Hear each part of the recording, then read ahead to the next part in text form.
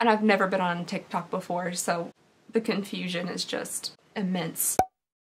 Hello everybody and welcome back to my channel. I hope you guys are having a lovely, wonderful, fantastic day. Today we're going to be getting into a box that I don't, have we done one of these recently? You all have better memory than I do. It's this one right here, the Glow Addict Beauty Box for the month of September. Uh, this box right here is an $18.95 cent subscription. $18.99, $18.95, somewhere in that ballpark. I do also think there's shipping included. Not 100% sure, but I think there is, which makes this kind of like a BoxyCharm price level subscription. Inside of here you're supposed to get five to seven products and they can range from like indie brands all the way up to like well-known brands. There's something in there that sounds like it jingles more than it should. In the past, this box has come with a lot of Ruby May Cosmetics and Castiel. No, not Castiel. Cass Cosmetics. It just reminds me of Castiel. Oh, and looking right here on the top, it looks like we have yet another Ruby May product. Oh, maybe multiple Ruby May products. Oh, it's absolutely boiling hot already. Okay, so the very first thing we have in here is from Dr. Botanicals. This is the Moroccan Rose Superfood Face Oil, and uh, my face is bare right now because I will be trying some of these products on. I wonder if this is gonna smell like rose. I didn't know so many other people had an aversion to the scent of rose. I thought I was the only one because rose is supposed to be a nice scent, a lovely scent. And it honestly is if it's in like the form of a rose, but if something wants to extract the juices, I can't, I don't like it. This comes in a pretty little glass bottle with a dropper. Oh, that doesn't smell like roses at all. I, for the life of me, can't tell you what this smells like, but I like the scent of it. Mm, it almost smells like black opium a little bit, which is one of my favorite perfumes ever. It's also very sticky. I, it's like I can almost feel something happening, like my hand is like pulsing a tiny bit, and I, I don't know if that's a good thing or not. It's not like a burning or a tingling, but like I can feel like something. Okay, so the next thing we have in here is a very large and in charge pair of Ruby May lashes. This is definitely a reoccurring brand in this box. These are the Ruby May Premium 3D lashes in the style 3D 35 Kimmy. These are for sure a very bold lash and I'm guessing, well, yep it is. Okay, so the little thing that was bouncing around in there is a tiny little bottle of eyelash glue. Oh, would I smell that? Oh, that smells awful. Uh, will I be trying these on today? That is not confirmed. But anyway, so we have lashes. The next thing we have in here is from Kara Beauty. This is a Glow Crush highlighting powder. I got mine in the shade Daydreamer. That is incredibly pink. Man, you guys, there's like, there's stuff. Stuff is happening on the back of my hand. It's like I can almost feel it getting more plump. Huh, truly fascinating stuff. Okay, so the next thing we have here is the Glow Crush powder. This has a pretty little package to it. It's like nice and pink on top, but it's also um, super pink on the inside. So it also kind of looks like it's already been like spilled out or something. There's no safety seal on the actual little holes itself, so some of the powder has gone all over the place. Oh yeah, that's um that's way too pink for me to be an actual highlight. Maybe if I used it super super light-handed as like a blush topper, but just just a streak of pink on my cheek probably wouldn't work out too well, at least for me and what I go for for highlight. It just has way, way, way too much color for it to be like a true highlight for me. I mean, it's shiny, so I'm, I'm sure it would do the job. It would just also be very shiny and very pink. All right, so next up here, we have a, leaked a little. Um, we have a makeup remover from Twin Medics, a Pro Refine makeup remover. It is supposed to be poo, not, not that. Um, it is supposed to be plant friendly and 100% vegan for all skin types. It did leak out out just a little bit. This definitely isn't a full-size item. I'm not 100% sure how many full-size items are supposed to come in this box. Alright, and then next up here we have something else from Ruby May Cosmetics. This is the Ruby May Cosmetics Liquid Eyeliner. I'm gonna assume in black because subscription boxes don't know other colors exist. So uh, this is probably either a felt tip or a little brush tip eyeliner and I just received one of these from Hank and Henri in my other box I, I just did. BoxyCharm.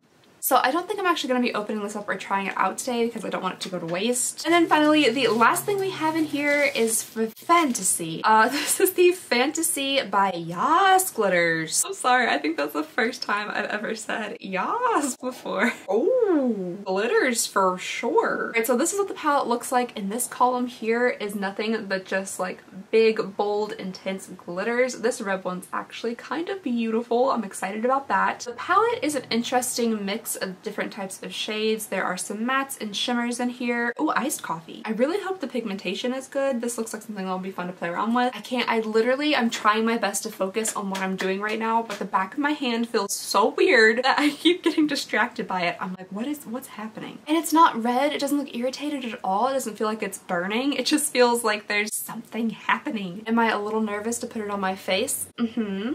Uh, but am I also incredibly intrigued? Also, also, mm -hmm. Okay, so we're gonna go ahead and move- oh wait, is there like a thing that tells us how much this stuff is? No, there's not. Man, I feel like the last time we did this, there also wasn't a card that told us like the price breakdown of everything. I think that's a super, super important part in a subscription box. If I were to ever curate my own subscription box, which likely will never happen, I feel like that's something you definitely need to include. You need to be super transparent with like the value of the items that are inside your box. But yeah, I don't know, I just feel like that's definitely something that should be included. Okay, so we're gonna go and get on into the try on portion of this. I would love to test this out and see if my face inflates or something, but I think I'm gonna do maybe like a little trial section just on like the side of my cheek tonight or something like that just to see if I have any crazy reaction to it. So quickly, I'm gonna go ahead and put on like the base of my face and then I'll be right back to try on everything else. All right, so the base of my face is done. I've gone ahead and done a little bit of blush, but I'm gonna be using this highlight as a blush topper because I just, I can't, like it. That's just too pink for highlight for me. So I'm just gonna tap into this very lightly and just, oh,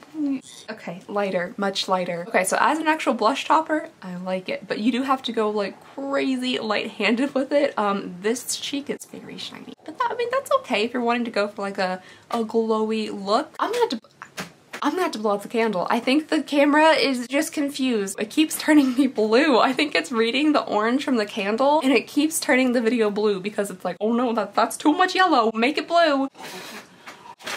That better, you weird piece of technology? I'm gonna add just like a little bit of a lighter highlight to the top of my cheeks and down the bridge of my nose because I don't want that really, really pink on my nose. I don't know, would that be like a like an e-girl thing to do if I did use pink highlighter on my nose? There's a lot of terms that I don't understand recently and it's making me feel old. What's an e-girl? What's an e-boy? Foremost, what is a VSCO girl?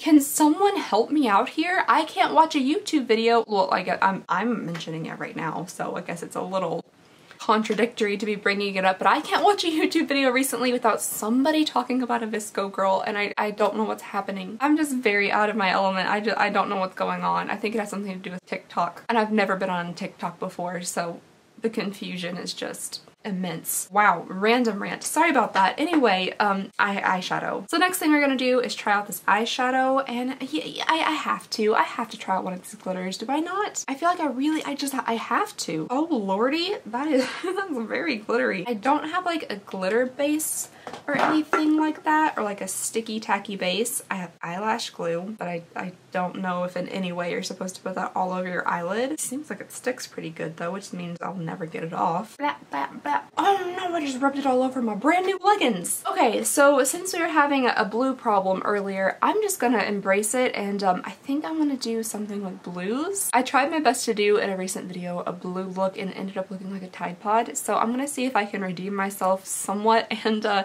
make something that's a little bit prettier. Holy guac and chips. It's hot. Okay, so the first shade I'm gonna use is probably gonna be this messy chip shade just as like a transition. Doesn't smell very good. Seems to be blending out pretty well though.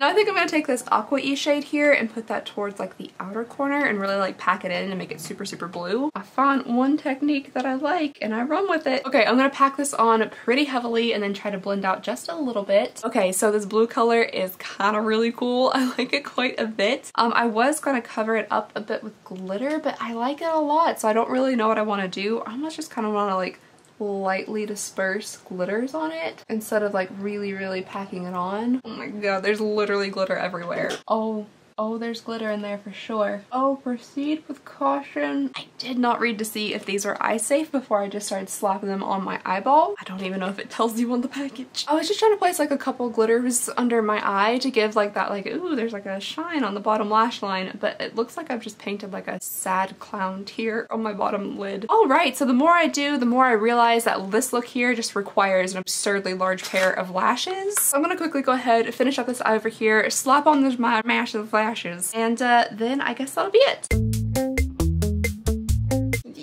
Okay, so I don't know exactly how we fully got to this level of makeup. Um, I was going to do a very subtle try on today and now we're here. Um, I don't like these lashes. I have to say they're very like, can you all see that? I promise you I did not realize how truly horrifying that angle would be. I don't know. They just don't look Nothing on my face looks natural. But they don't look natural, like, at all. I also had a hard time getting them on. Um, we had some whoopsies along the way. They just seemed, like, really stiff. They weren't, like, naturally shaped to the eye. I don't, just not my favorite lashes. The look, I mean, it's a, it's a look. Uh, I don't mind it, actually. I don't know where on earth I would ever wear those two, but it's kind of fun. The glitter, again, I did not check to see if it was eye safe, and I don't honestly think it says literally anywhere on here if it actually is. So please just use caution when using this palette. Also, it will get stuck all over you and will likely never come off. This box, I'm just not super sure about. I know that they are still kind of new-ish, but I feel like I wouldn't pay the same amount for this box as I would like a BoxyCharm. The standout for me in this box was definitely the palette. The blue in here is super pigmented, really pretty, and I feel like a lot of the other shades will be pretty as well. But the rest of it, I just, I'm not, I don't know. I'd love to hear all of y'all's thoughts and opinions though. What do you think of this box? Have you tried it out before? Do you like it? Do you not? You can leave all those opinions down below in the comments. And uh, yeah, that is all I have for you guys today. So thank you so very much for watching. Please go ahead and consider subscribing